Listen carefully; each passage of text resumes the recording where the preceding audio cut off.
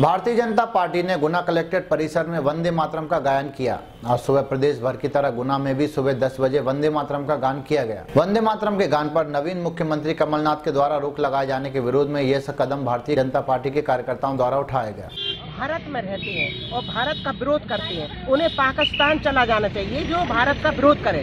वंदे मातरम, ये कोई अभी का बनाया हुआ नहीं है।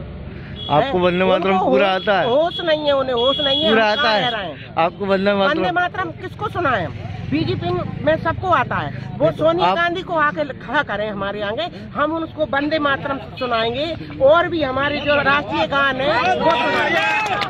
सोनिया गांधी प्रोग्राम वंदे मातरम का गान करना और झंडा वंदन करने का प्रोग्राम था सारे कार्य अपने कार्यकर्ता उपस्थित हुए। ये महिला मोर्चे की कार्यकर्ता भी उपस्थित हुए हैं।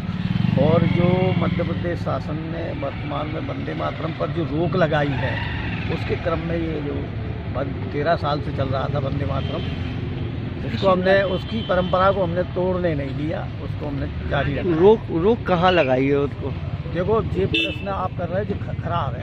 नहीं नहीं। माननीय मुख्यमंत्री कलम कमलनाथ जी ने रोक लगा दी थी कि वंदे मातरम नहीं होगा।